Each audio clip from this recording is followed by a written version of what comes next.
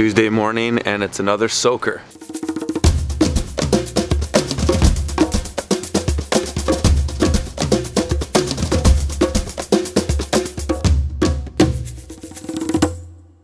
I gotta harvest some microgreens for today's orders and uh, Roger's just getting some Salanova going. Going to stop doing it in soil blocks for the moment just because I am not lacking in greenhouse space. There's tons of greenhouse space available and it's just faster. I've just found over the last few weeks I haven't really had the time to uh, do the soil blocks so uh, you know, the main the main reason I do the soil, the mini soil blocks is because we're lacking in greenhouse space at the beginning of the season when we've got all the main field plugs in here with tomatoes and lots of microgreens. But since we don't have the lack of real estate now or the time, doing it in just standard flats is going to be easier. So we're just doing them in 200 cell flats and we're gonna do a bunch today.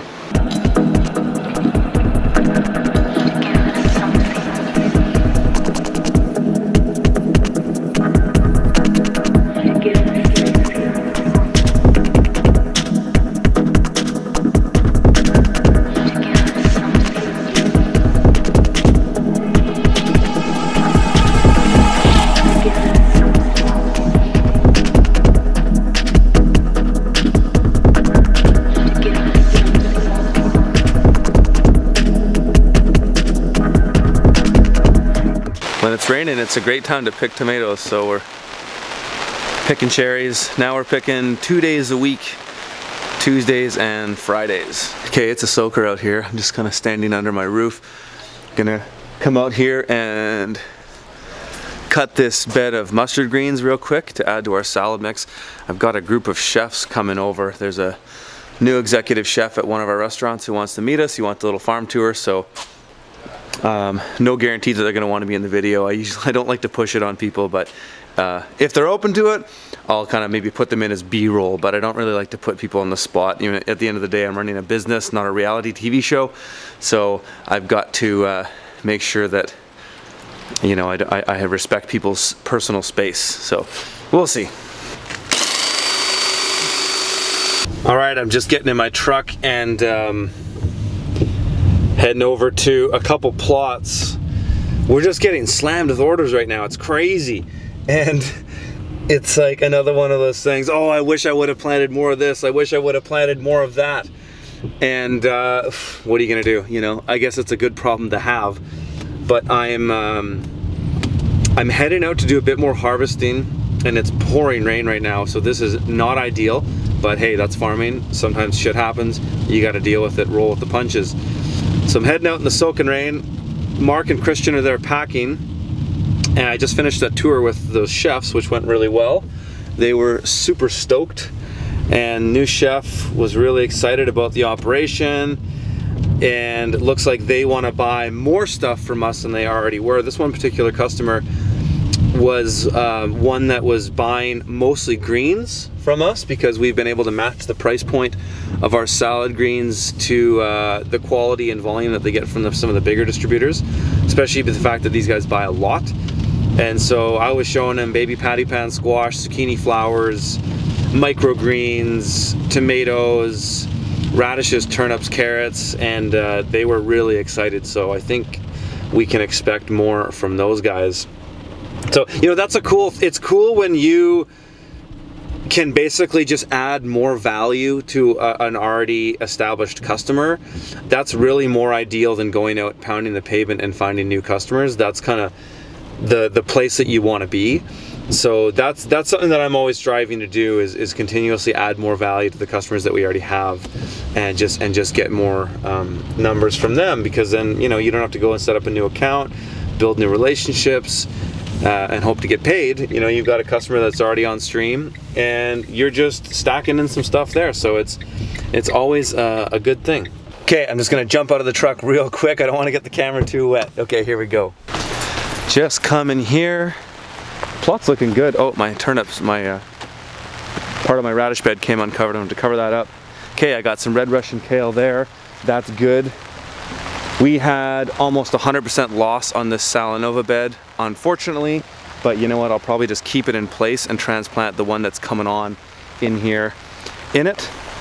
The heat basically fried it. I have got a fourth cut of this red Russian kale bed. I'm gonna put this under this little roof here. I've got nicely a third cut from this arugula. That's great. And what have I got under here? I've got turnips. Oh my god. I think I have some turnips. Oh geez, I do. I just told the customer that I didn't have any and I think I have some. Some nice arugula coming on for next week. That's great because I've been crazy short on it. So, long story short is here, I have a little bit more than I thought I did, so that's fantastic. Gonna harvest that bed of arugula, these two beds of red Russian kale, and I'm gonna poke around that turnip bed and see if I've got a little bit more in there. What I'm doing right now is I'm just trying to make a quick decision on what I, what actions I wanna take. I've got I've got one of my distributor orders, which is a big one. I've got to get done that for tomorrow. We've pretty much got everything we need for our deliveries today because we've switched to, we do bi-weekly deliveries in the summer. So for July and August, we deliver Tuesdays and Fridays. But I always have my my main uh, distributor order on Wednesday. That's always a big one. That's like almost a quarter of the product that we produce in a week. So he he wanted a lot of stuff that I thought I was short on. Turns out I came here, I've got everything he wants. So that's awesome. So we're looking at having a huge week this week. But right now I'm trying to make a quick decision as it's pissing rain and I don't want to be here very long and I don't want to have to wash more stuff than I need. So I'm taking up my old phone and I'm checking the weather. I want to see what the weather's like tomorrow. And it looks like we've got, I don't know if you can see that, Wednesday, 26 degrees Celsius and sunny. So that's great. So what that means is I'm going to save getting the gr more greens till tomorrow. I'm gonna get just what I need right now to bulk up my salad mix for the orders to deliver today so that I don't have to process all of them. So it means I got to come back, but you know, whatever. It's we're gonna save time because we'll have less time washing and processing. So uh, I'm just gonna cut a little bit of some of these beds to get what I need and then get out of here so I can go back home. Uh, Mark's about to take lunch. I've got Christian till noon. So I'm gonna be, I probably won't be taking a break until one.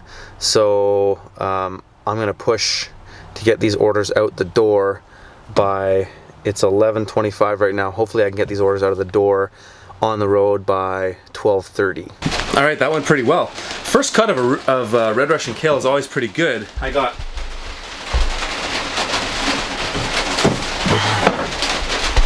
I got about 15 pounds there, so that's fantastic. That's gonna go straight in the salad mix. We've basically already cut all the lettuce that we have for the week. Uh, it needed to be cut, so we figured let's do it all now. So anything I'm adding to the salad mix now is coming from other greens like arugula, red Russian kale, or mustard. We're out of beet greens this week. We're in between beds. I'm just gonna go quickly cover up one of those tunnels that was on, that the wind blew off, and then I'm out of here. Gonna go mix those greens and then get those deliveries on the road. I'm all loaded up, and when I get home, I'm gonna take lunch. But got all my gear, got two big restaurants to deliver to, and then I'm back for a break. It's 5.30 p.m. and I would more than anything love to be done for the day, but I'm not because I own the business and it's my responsibility to make sure things get done if they have to get done. So it's been piss and rain all day. In fact, it's starting to drizzle again. So I better shut my mouth and just get over to this plot across the highway and get done what I need to get done. And I'm not gonna do everything that I need to do there. There's more work to be done there tomorrow. But what I'm doing tonight is I'm going to crop out this last bed of radishes and I'm going to flame weed all these beds so that tomorrow we can come in there, harvest carrots, turn these beds over by hand because Mr. Tilther is still out of commission. And then I will be done for the day. All right, it's been raining since I got here. Not heavy though, just drizzling. Slowed down a little bit, so got time to talk to you. So I just cropped out, I got three cases, or three, about 60 pounds of radish from this bed here. And now I'm going to pull out that new flame weeder of mine and gun these four well, one 50 foot bed, three 25 foot beds. Gonna blast those out and then I'm gonna get out of here.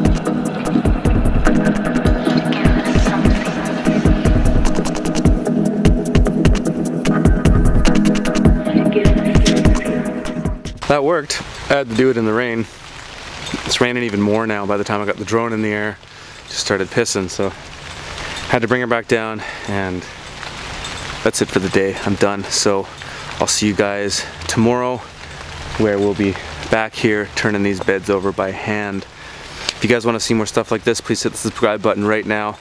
Like and share them with your friends. Check out my online course, profitableurbanfarming.com, and you can check out my book, which has a lot of this kind of information in it, called The Urban Farmer at theurbanfarmer.co. And if you guys would make like to make the donation to the show, it's much appreciated, very much welcomed, and allows me to expand on these videos, dedicate more time to making them, getting better quality equipment to do it, and improving the content by writing out my ideas more. So if you want to make a donation to the show, please do that at theurbanfarmer.co slash support. Okay, see you tomorrow.